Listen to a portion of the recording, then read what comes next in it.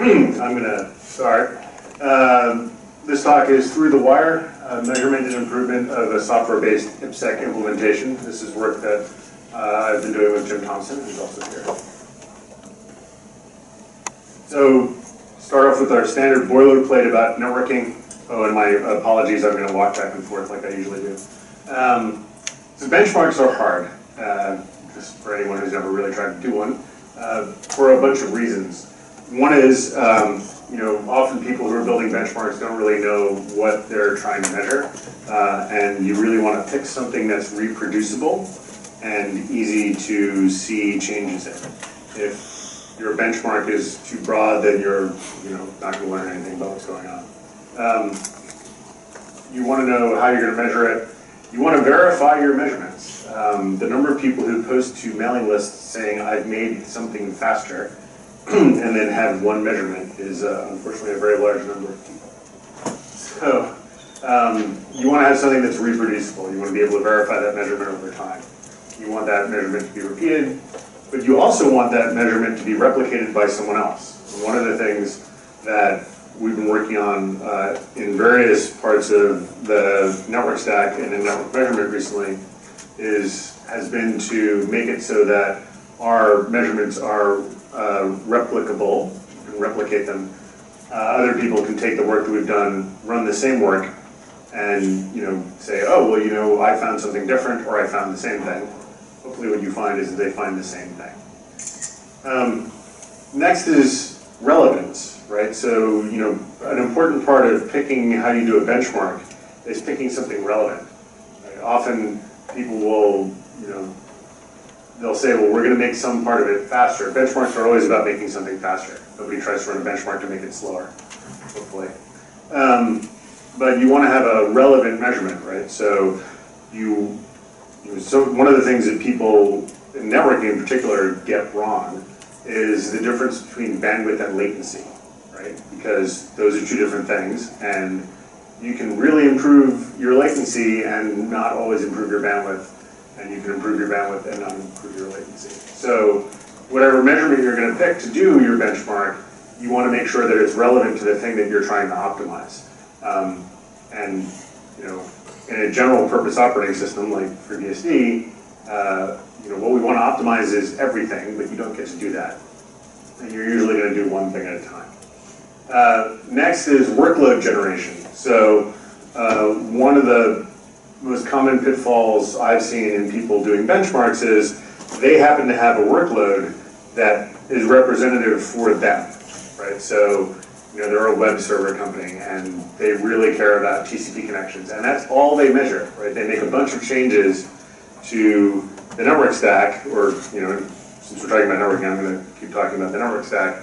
Um, and it makes their particular workload go faster, which is great, but then they've modified a general purpose OS that everyone else is using, and they break a bunch of other things, or they make a lot of other things slower, um, because they don't have a sufficiently broad set of workloads. Um, one of the nice things on an open source project is if we get enough people with enough different types of um, applications, then we should have the ability to get people to replicate our results or run our results with various workloads, which gives us a better picture um, for you know how we've improved uh, the system. Finally, um, a lot of the measurement technologies we use when we're trying to find bottlenecks in the system, and I'll talk about this a little bit later in the, in the discussion, uh, the measurement technologies themselves disturb the thing we're measuring. So there's this term called a Heisenbug, which comes from Heisenberg uncertainty for anyone who's ever taken a physics class. Um, but you can also have Heisen testing, right? So you you actually take a measurement, and the act of taking the measurement changes the performance of the system.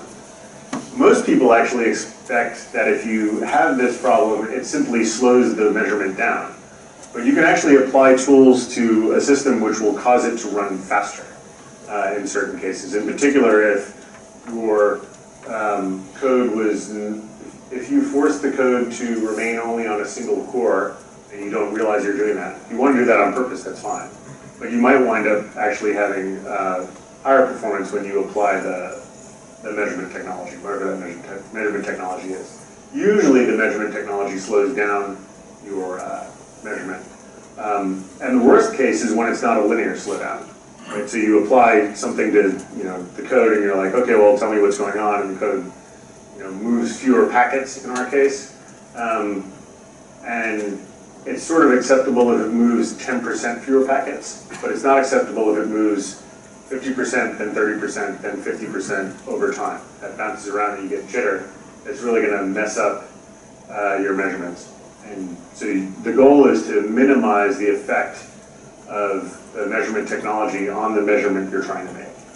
So these are a, a bunch of pitfalls, not just for networking, but for any benchmark. You could benchmark file systems this way, you could you know, benchmark memory access, VM. Um, these are sort of just general things about benchmarking that makes benchmarking difficult. Unless, of course, you do marketing, in which case the benchmark can be completely made up. But let's not do that. So uh, network benchmarks are more difficult than, say, some other benchmarks. Certainly, a benchmark that's on a single system is easier than benchmarking a distributed system uh, for these uh, four reasons.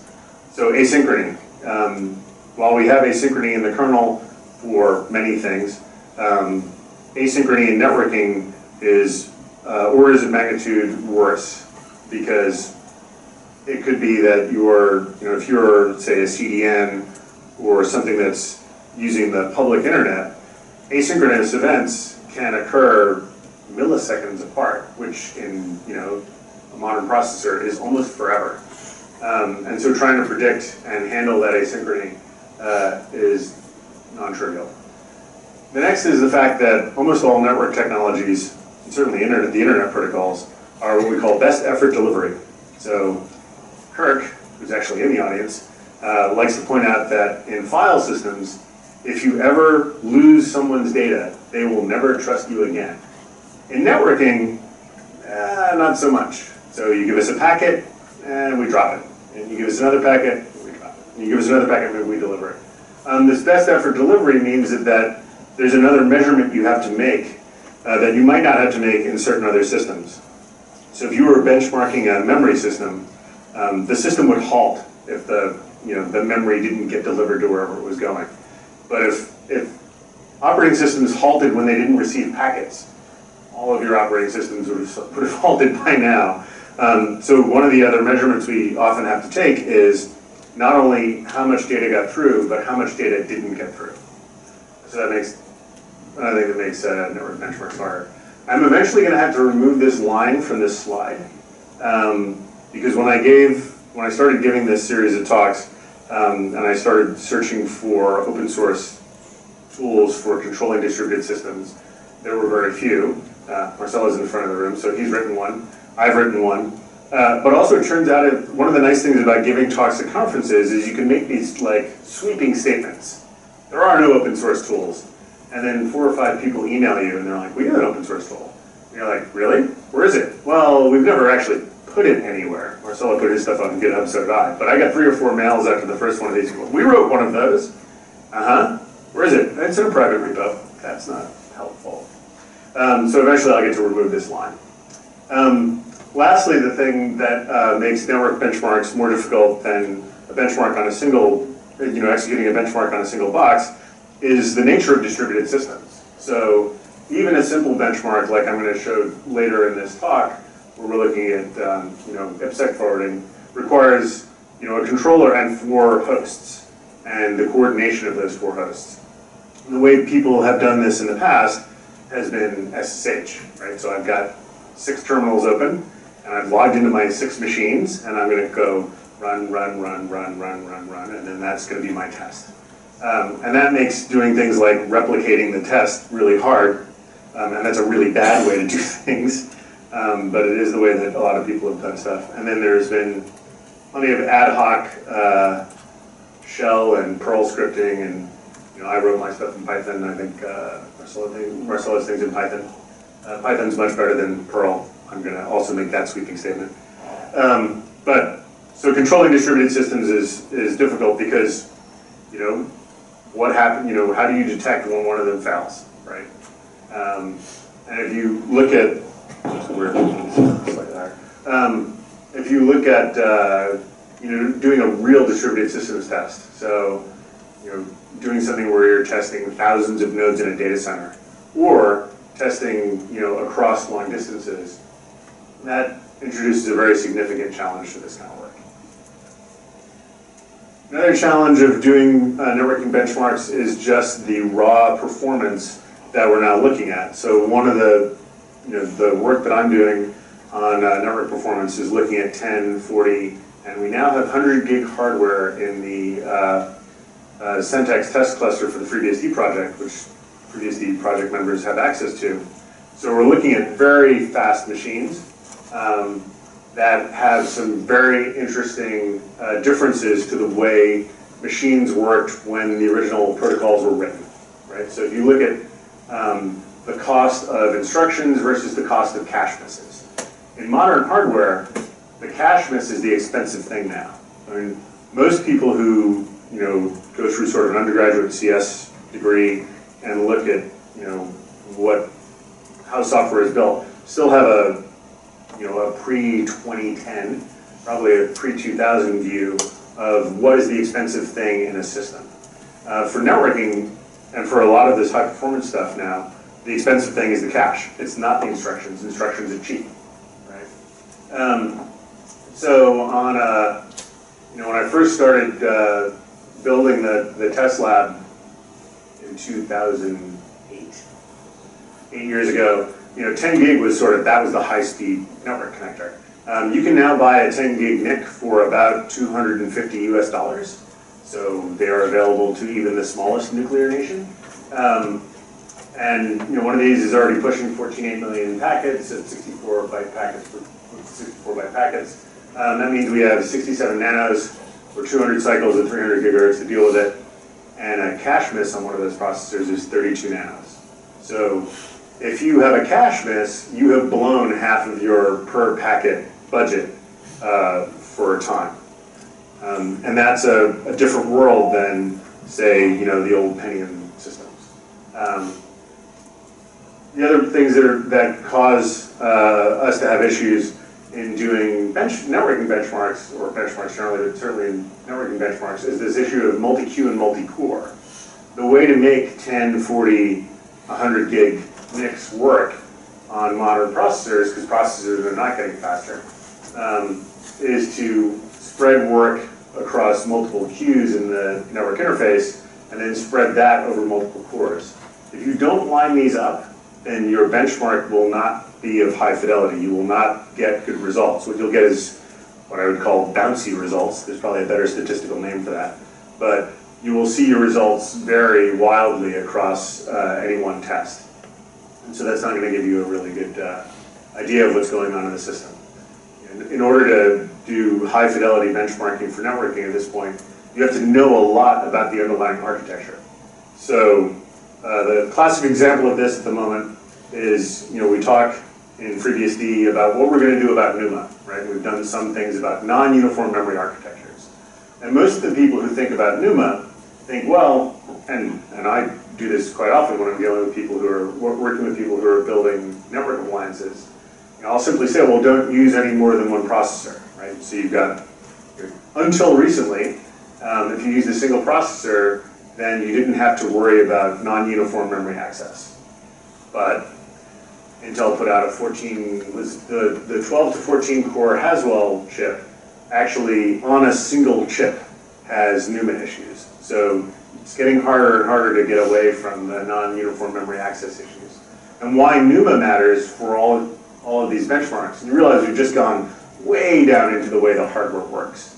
Right? And the reason we have to care about this is if the uh, kernel thread or the thread that's executing whatever you're trying to measure, if you're measuring IPsec or forwarding or TCP or you know, or you're measuring the file system, any anything that you're measuring within the kernel, um, if the hardware, if the thread of execution is not near the memory it wants to talk to, then you are going to get lower performance. Um, and again, your, your benchmark isn't going to be a high fidelity. So modern hardware is making this more difficult. Um, there's a really nice table that Jim sent me when I was doing this. Um, if you look at packet processing times um, by you know packet length, um, and this again is at 10 gig, you see that this is the number of cycles we have. Now, you know, multiply this by four or uh, 10 to get to, to 100 gig, and um, you can see that these cycle budgets are going lower and are going to go lower and lower. Now, most people are not sending huge streams of 64 byte packets. Right? If you are watching video from Netflix or you are interacting with a web server or any of those things, then you are not sending a lot of these. Although, um, I will tell you that the ACKs coming back are about that size uh, from your traffic. But the outbound packets should be this big. But again, if you go to 100 gig NIC, what used to be, you know, 3,000 cycles on a 3 gigahertz processor is now 300 cycles. So now you've gotten back down into the range of a 64 byte packet. So, you know, and yesterday Luigi was talking about doing things at terabit, which means this would get even smaller. So for my test automation for this uh, set of exercises, I built this thing called Conductor. Uh, it's a set of Python libraries. It's very simple. Um, one might argue it's too simple. Although I did convince the IETF to give me a port number for it. That was a highly amusing experience, which I will not go into now. Um, so you have a single conductor, right? You guy in front of the room or a girl in front of the room waving a baton, uh, and then a set of players. And uh, one of the reasons I went and wrote my own one of these things is that I um, had a very specific set of phases I wanted to, to institute so that you could actually you know, do things that were, uh, were kind of useful for a network test. In particular, this bit of collect. Um, if you're doing a test on a single host, usually the run the run phase will just dump a bunch of files somewhere and then you'll be able to do that. But if you've got this conductor that has to tell all the players, okay, you've run your test, now give me your results so I can collate them into this, this collect phase. Um, and then this is, by the way, talking about uh, problems people have in implementing benchmarks. They often don't do a reset, right? So someone will run, you know, the benchmark 10 times, right? I'm going to run this network measurement 10 times. But the first time you run it, you do all of the setup in the kernel that that you need to do. You would put your ARP entries in, and your routing entries would be there, and all that stuff. And you either need to throw the first one away, or you need to reset every time so you can get a similar measurement. Um, super simple. This is what a conductor config, config looks like. I use the you know the standard config language because that made my life easy. Uh, this is the this is a very ugly scripting language. This shows that I'm a kernel programmer, not a languages person. Um, but this is you know all of the the phases, right? This is says this startup, run, collect, reset, and this was a test where we were using packetgen to collect a bunch of data on uh, small packets. So this is just an example, and I'll, at the end of the talk, I'll give a link where all of these configurations and all of the scripts actually live. So we've been hosting this on, on GitHub. So one of the things you want to do before you start uh, is to generate some baseline measurements. Before we start adding things into the system, we want to uh, you know, establish a baseline. And there are two tools that I've been using to do this so far uh, for TCP-based flows uh, iPerf, and in particular iPerf 3, which turns out to be maintained by a former FreeBSD developer. Um, and therefore it's easy to get patches in, which is nice. He knows me. Uh, and second is PacketGen, which is something that Luigi did as a little test program for his NetMap system. So when I want to do very high packet rate, very small packets from a FreeBSD box, I use PacketGen. Um, people have been making new versions of this kind of stuff. Uh, now that there's NetMap and DPDK, which are both sort of both kernel bypass uh, network systems. Uh, but these are the two tools that are, if you look at our repo, the two tools we use mostly to, to generate packets at the moment. Um, our other choice would be to buy a very expensive piece of hardware like an Ixia, which I have sworn never to do. So let's take a baseline measurement of 10 gig. Um, this is a measurement between two hosts in the test lab, and you can see that you know, with TCP, uh, this is iPerf output. With TCP, we're getting a nice 9.4 gigabits per second. Excellent, right? That, that looks really great. Um, Then we do a packet-based measurement with uh, PacketGen, and you can see that we're transmitting 14 million packets, but we are not receiving 14 million packets. Um, and, you know, why is that? Well, that's because TCP is working really, really hard to um, balance the bandwidth, right? So in the PacketGen case, we are not doing any of the TCP machinery. Um, turns out TCP is very smart. Um, it's not perfect, but in the last 30 years, we've made it so that it actually does a pretty good job of finding the effective bandwidth of a link. Um, and it's doing that by using full-size packets when it can. Um, and so that's, you know, that's an example of a, almost a false measurement, right? So, great, we can do TCP at full-size packets, but that doesn't tell us a lot about what's going on in the kernel for sort of a general uh, set of, a general packet mix. PacketGen uses the abusive minimum size packets, uh, 64 bytes. I mean, PacketGen can use any sizes, right? There are several tests in the currently existing scripts that will do what I call a full spread. If you look for full spread, you'll see it run with 64 bytes and then 128, 256, all the way up to full-size packets. And that gives you a better idea of where we're doing better or worse. It'll show cache effects. Um, it shows a lot of interesting stuff. So the device under test can't quite keep up. So let's talk specifically about what you know we measured for this presentation, which is IPsec. So one of the things I've been looking at is uh, the performance of various forwarding paths within the kernel. So we've looked at the you know the pure IP forwarding path. Um, I guess I should look at some point at the IPv6 forwarding path, especially since I'm standing here in Japan giving this talk. Uh, but for this, we looked at IPsec. Um, everyone knows that encryption is computationally expensive, right? It's kind of designed that way. Um, and so, you know, over time, uh, people have built specialized hardware, specialized uh, coprocessors to handle the complex math for encryption and decryption. And now we even have this in place on CPUs in the in the way in this thing called uh, the AES-NI uh, new instructions. AES is a set of uh, encryption and authentication, well, a bunch of encryption protocols, encryption algorithms um, that are designed to be faster in particular than some of the previous uh, algorithms, and also designed so that you could e more easily create hardware offload for that. So uh, in modern Intel processors, and I believe in some of the ARM 8 processors, probably the stuff from Cavium, you'll get uh, on-chip hardware instructions that implement this AES stuff. So for this set of measurements, we did a, a what I call a four-host setup, which is we have a source and then we have two VPN endpoints. Right, the source generates packets, one VPN endpoint puts them into a tunnel, the other VPN endpoint pulls them out, and then the sink records how much arrived there. Um, for this set of tests, we used iPerf3 using TCP. Conductor sets up the tests, 10 rounds of 10 seconds each. This is what our lab looks like, which is not too much of an eye chart, I hope. Um, I'll talk about these hosts in a moment. So you can see that the um, this is our VPN tunnel uh, here, and then these machines are our source and our sink.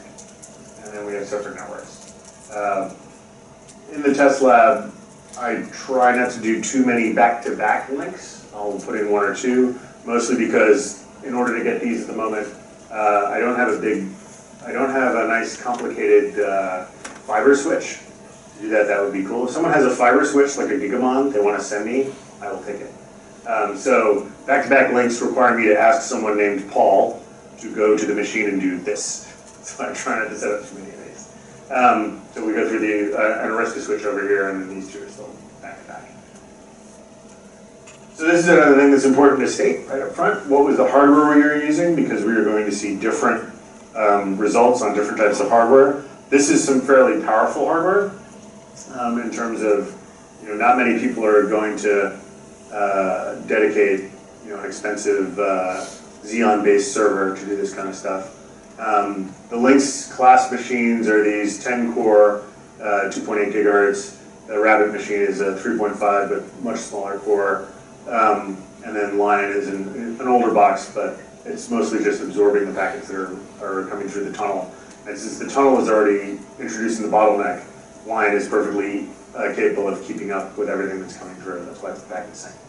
Uh, in terms of uh, network interface cards, we're using Chelsio T5s. Um, my table wouldn't quite fit if I put the word Chelsio here, so they're T5 cards, which are the latest cards from Chelsio. Um, those are 10 gig, 10 gig NICs, and then we've got an Intel 10 gig NIC on the packet sink.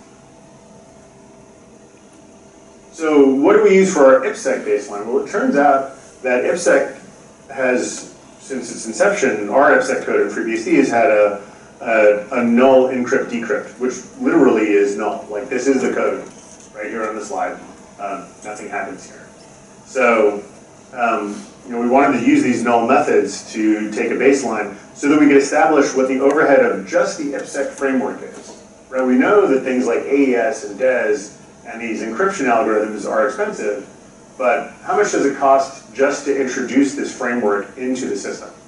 Um, you know, the goal should be, or the goal is, that the framework has a very small amount of overhead. Um, so we, we were going to establish that. It turns out, though, this little side story, that sometime in the last few years, someone had broken the ability to use null because people don't test. I hate people like that. So I had to go fix the, the null stuff so that the so that setkey could actually set null methods. Um, so there's no authentication, no encryption. And the other thing that's important to know is um, you if you want to get a good measurement of the stack's ability to handle things like TCP, you have to turn off the network interface card's hardware offload features. So a modern 10 gig, 40 gig, 100 gig NIC will have these things like TCP offload, segmentation offloading, that will do a lot of the TCP work for you. Um, in the TCP case, you want to turn that off. Um, and yeah, who needs null encryption, right? You should never have null encryption because the NSA can then read your traffic. Um, turns out they can also read it without null encryption. You need it for testing. So, you know, what do we find? This is in gigabits per second. Um, so we, you know, we ran these 10, 10 measurements, and we found that just turning on the framework is going to steal 50% of the overhead. Right? So you are no longer going to be able to move 10 gigs. Uh, you can move slightly less than five, um, which is important two reasons. One is it, it lets us know that we've got a lot of work to do, um, but it also informs the numbers we're going to see on the next set of slides uh, about how well the system operates when we actually reintroduce the encryption and decryption into the system. So um, one of some of the questions we want to ask once we've started doing these benchmarks are things like, uh, where does the time go? You know, are we, uh, you know, in the null case, there should not be something that's computationally expensive, but we want to know that when we start introducing the encryption and decryption algorithms, you know, what costs? Where, where does the cost come from? Um, and are we, you know, I'm going to I'm to compare a software and a hardware implementation of AES. You know, we want to make sure that those instructions that sit on the uh, chip actually are offloading the computation. Um, and finally, we talked about the effect of cache, cache misses we want to know if we're abusing the caches. Uh, because if we're abusing the caches, then that's you know clearly a place that we have to go and optimize the code. I mentioned that we're using the HWPMC subsystem uh, in FreeBSD, which is the subsystem that gives uh, you access to on-chip performance counters.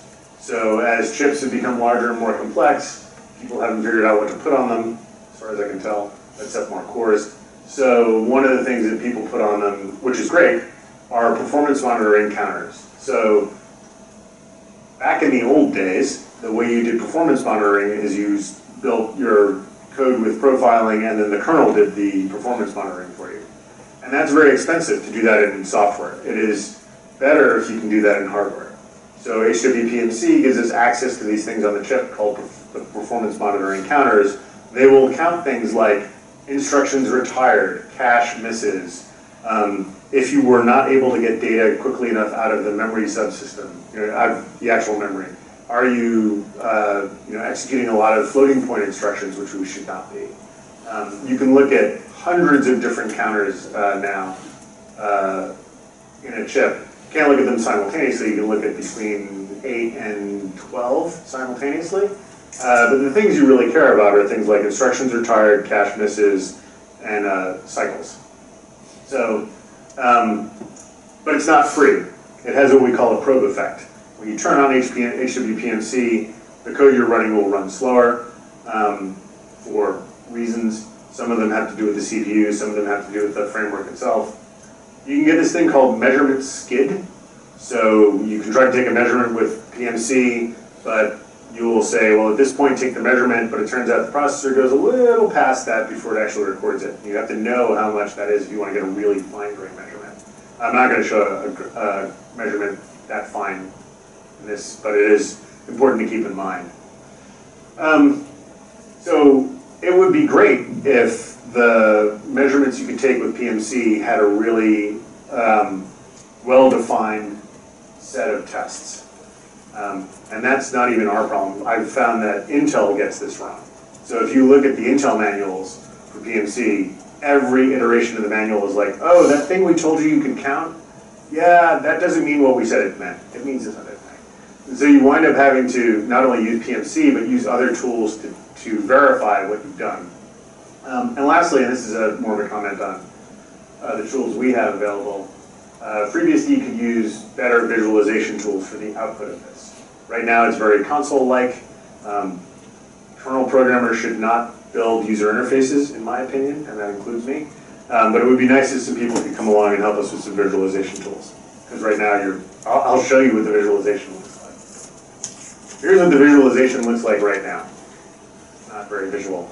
Um, so we wanted to run um, this is the output of HWPMC turned into GPROF output. Now, I don't remember what year GPROF was put into the system, but I think it was in the 80s.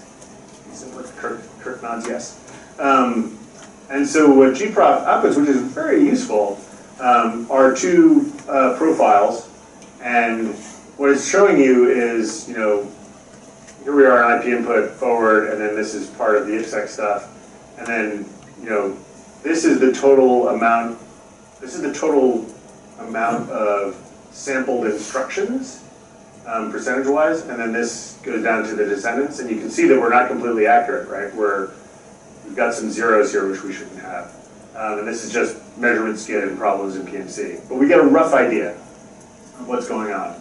Um, so in the total uh, profile of everything we measured while the system was running the IPsec test, 64% of everything done was in this set of code, right? Um, IP input, which calls forward, which calls ESP4 input, and then uh, we see a bunch of walking, and we see a bunch of um, uh, bits where we're getting, this is, uh, we're checking our key, and then finally we're duplicating uh, memory uh, network packets and buffs. So, you know, that's useful, and it would have been very surprising if this was not 64% of what was going on. Um, what's more interesting is what's called the flat profile. So the flat profile just sort of lists the, the n things that were at the top. Um, and you see these percentages are much smaller because it's what it's done is it said, oh, this is, you know, uh, it's not it's not accumulating these. It's like, oh, these are the things that were most expensive. Now we have we have some idle time left over. Uh, about eight percent of the system is completely idle. Completely idle. Um, what we see here is that the things that are at the top of the list for things that we are doing when we're doing the null forwarding, uh, the null encryption case, are all memory and and locking, right? It's not about um, bits inside of IP input or IP forward or IPsec. It's all about you know clearing out a bunch of memory, grabbing locks, uh, lock and unlock, and then this uh, UMA Z-free Z-alloc stuff. Um, the UMA uh, lines are for the, the memory subsystems of the kernel. And in a way, this is depressing and also not surprising. Right? So, you know, in, in the FreeBSD, in FreeBSD and in any of the systems that came from uniprocessor kernels to multiprocessor kernels, you know, we went and we put this thing called the giant lock around the kernel first, and then in FreeBSD 5, we started carving up the kernel into little bits. And the way in which a lot of things get carved up is someone looks at a subsystem and they say, there are 20 data structures that matter. I'm going to put a lock around every single data structure. And then I'm going to figure out how to, you know, free that up later. So locking overhead is not surprising to find, but it's going to be fun to remove. Um, because there are definitely places where we can optimize the locks. Um, for those people who spend time in the FreeBSD kernel, you'll notice these are rewrite locks. Um, there are better, more optimized locks like RM locks that we might be able to use, uh, but we haven't tried that. So this is good um, because it shows us what to look at. So now let's do some actual encryption. Let's you know build up a IPsec tunnel you might care about um, you know in the field as opposed to one that you're just using for testing. So again, now these are um, megabits per second. Um, this is AES-CBC with SHA-1 in tunnel mode, um, and this is whether or not we have hardware support. Now the reason to show this particular table is, um, with these, we're, we're not taking advantage of the AES-NI instructions. Like with hardware support on and off, we're not actually seeing a, an improvement, right? It's pretty much unimproved. Um, but if we switch to one of the algorithms for which we have hardware offload instructions, these AES-NI instructions, like AES-GCM, and AES-GCM is what people now would field for an IPsec tunnel. Um, you see that we actually get a significant speed up from introducing the hardware. We go from 250 megabits to 1.8 gigs on a 10 gig link. Now, 1.8 gigs is not great on a 10 gig link. You might like to get 10 gigs out of your 10 gig link. Um, maybe that's not completely likely. But we also know that this is not the result just of the encryption and decryption. This is also the result of the overhead of the framework, which we showed in the null case. Right? So the, framework itself is slowing us down, and then we add the complex math, um, and of course we're going to you know, lose more bandwidth. Um, this is the results for uh, 128-bit keys. So where does the time go? Um, this is the case of, uh, see, instructions retired for um, a software-based version. As flat, flat profile is easier to read. Um, so this is the software-based version of AES-GCM. This is without using AES-NI. And what you see in the flat profile is, yep, we do a lot of math. Right? These two uh, functions up here, GF128 mul and Rijndael encrypt. Um, the GF128 mul is a lot of math. But then we see the stuff that we saw before. Uh, copy back data, which is messing with mbufs, and bcopy and bzero. Right? So somewhere we are clearing a lot of memory. Maybe we don't have to clear that memory. Um, maybe if we, you know, did something else like cleared the memory before we started or reused buffers or there's a bunch of tricks we can play uh, to start improving some of this. So this is the software case. Um, this is the flat profile when we have um, hardware instructions AES-NI enabled. And this should look very familiar to you. Um, what's nice is we've got a bunch more idle time back, which means we have more time on the system to do other things. And most of what we find in the flat profile, again, are things like the locks, uh, the bcopies, and the UMA stuff. And what this tells us is that the AES-NI stuff is working, right? It has removed all of the math overhead, and we're back to dealing with just the overhead of the framework. So if we were to improve the overhead of the IPsec framework itself, we would also improve the overall measurement that we have back here. This number would go up. Um, this number also should go up, but this number would go up really significantly because that's all that's interfering, all, that's most of what's interfering with us getting more bandwidth through the system, is again, this is the framework. So, math is hard, let's go shopping. Um, in the hardware offload case, we do see that the CPU is free for other work with this hardware assist. Um, And as I said, locking and memory management dominate. This confirms our suspicions from the null measurements. Uh, but this last line is really important. So the FreeBSD kernel is a packet at a time kernel. We do not batch packets. And you know, this goes all the way back to my earlier conversation of optimizing for latency versus bandwidth. In a latency sensitive system, which we are not talking about right now, you might prefer packet at a time because then the, pack, the next packet will come out as soon as possible. If you were to back, batch packets, say we, say we were to wait for 16 packets, um, then the first packet wouldn't come out until the 16th was done. But we would get a significant speed up from not locking and unlocking data structures for every single packet that went through the system. We would remove that overhead. Um, so one of the places to look, and one of the things I'm going to be looking at after this talk, is any places where we could think about batching data through the system. It might be that we start with batching data through IPsec itself so that we don't perturb the rest of the network stack. Um, but batching data definitely will improve our bandwidth measurements, will not improve our latency measurements. So bonus measurement, um, it's been mentioned a couple times uh, for those who are at the Dev Summit. Uh, one of the things I did a while back was um, the FreeBSD network stack used to have two forwarding paths, which aggravated me a great deal. Um, one was called the fast path, which was off, and one was the regular path.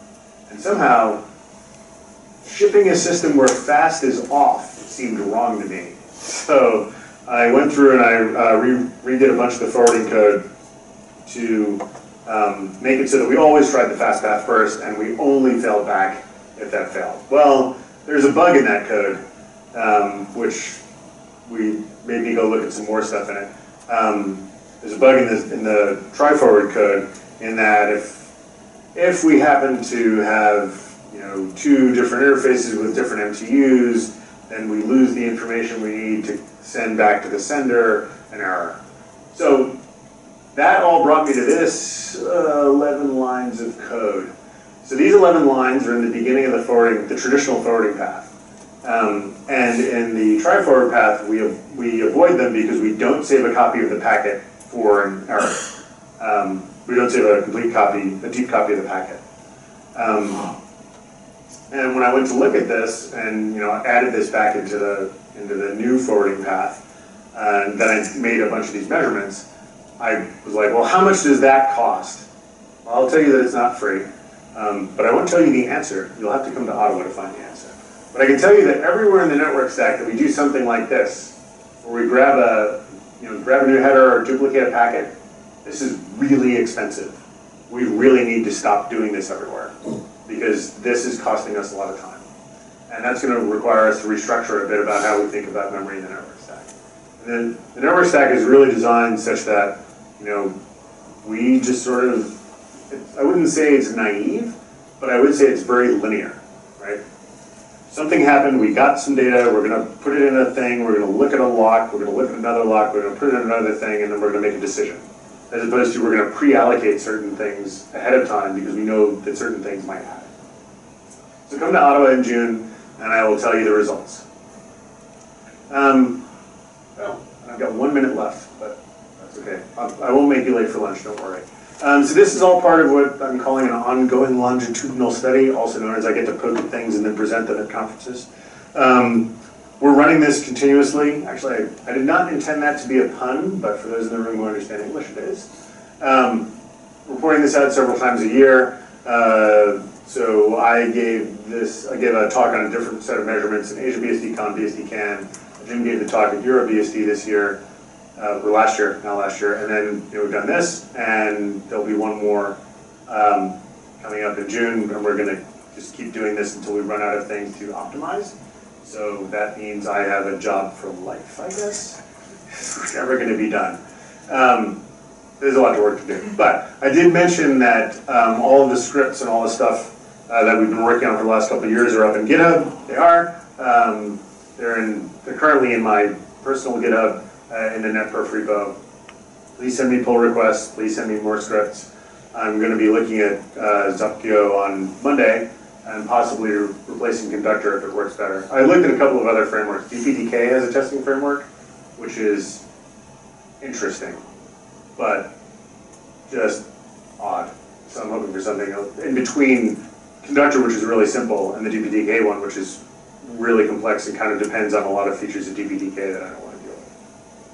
Um, so this is my last slide. Are there any questions?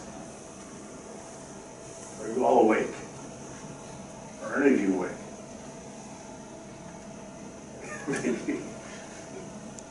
All right, well, you can all go have lunch then. Thank you very much.